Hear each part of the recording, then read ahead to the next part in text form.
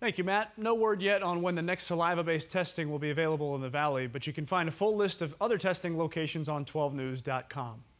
Hey, Phoenix Rising returns to the pitch as the first professional team to play a game since the Suns hosted the Milwaukee Bucks on March 8th. Team 12's Kirsten Susel is out at Casino Arizona Field where the atmosphere is going to be a little bit different tonight, Kirsten.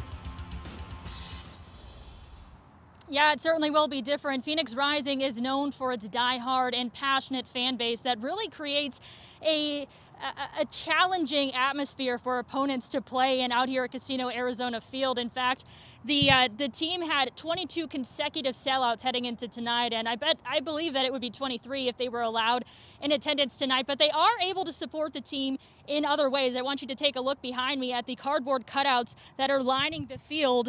Fans were able to purchase these for a charitable donation, and they uh, as well as create signs that were dropped off earlier in the week. About 300 of them will fill the stands tonight. And I also want to show you some of the photos that will be on the cardboard cutouts during their next home match. It's an initiative super spearheaded by a fan named Kevin Gates. He's collected donations from the community to sponsor 70 children from the Phoenix Children's Hospital so they too can show their support. This all happened this week, and because of the sheer volume, the team needed a little more time to get these cutouts created. But fans have truly rallied together in an unbelievable way. Here's head coach Rick Schantz earlier in the week talking about what they mean to this club. If you look at all of our guys, they want to win for the fans. They know that it's it's entertainment. They care about the community, and another thing we've talked about is kind of bringing some happiness and some joy to, to Phoenix and to Arizona in general.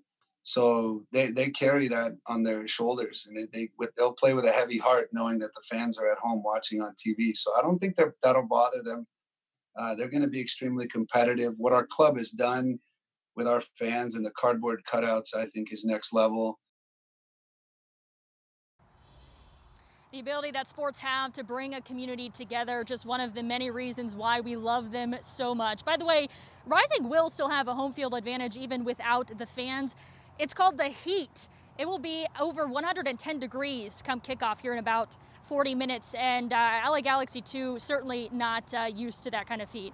Live from Casino Arizona Field. Mitch, I'll send it back to you. All right. Thank you very much, Kirsten. Uh, I miss those memories from uh, Dollar Beer Night. Those are some good times.